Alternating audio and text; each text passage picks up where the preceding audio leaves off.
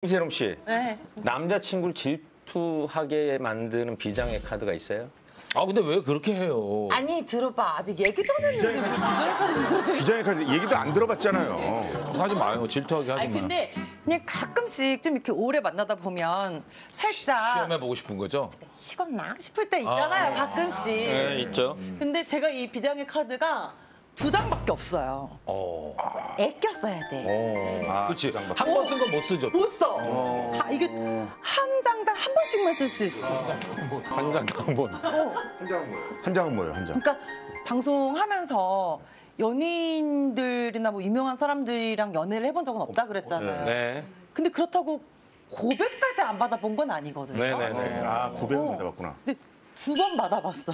아, 그래서? 유명한 사람이랑 사람. 두번 받아봤어. 그 두 분이 활발하게 활동을 하시고 계신 TV에 되게 자주 나와. 아.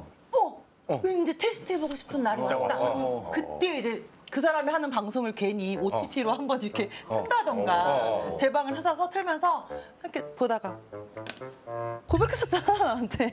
뭐 이런 식으로 나한테 아이고, 아이고, 아이고, 아이고. 근데 이럴 때 중요한 게 등 뒤로 누워야 돼요. 그래야 그래야 표정이 보여. 보려고? 아, 강대 표정 보려고. 아. 나 이러면 이 사람이 어떻게 고백했었잖아 이러면서 이렇게 쓱 보면은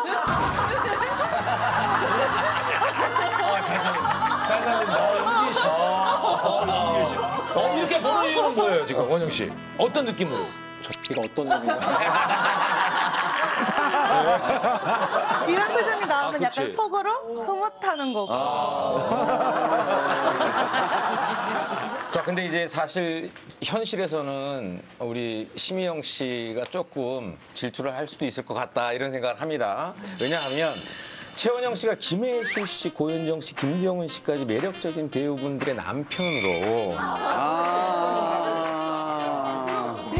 그분들 중에서 혹시 심희영 씨가 좀 신경 쓰였던 배우가 있었나요? 워낙 다 저희에게도 대. 선배들이고 뭐 이러니까 네.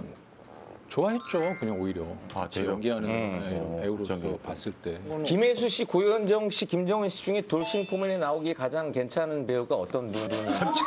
아니 뭐, 뭐 이런 토크에 그게 아니고 재밌게 이렇게 할 우리 수 그- 있는 우리 이- 이 질문의 목적은 그분의 한 분을 좀 섭외해 줄 수 있나요?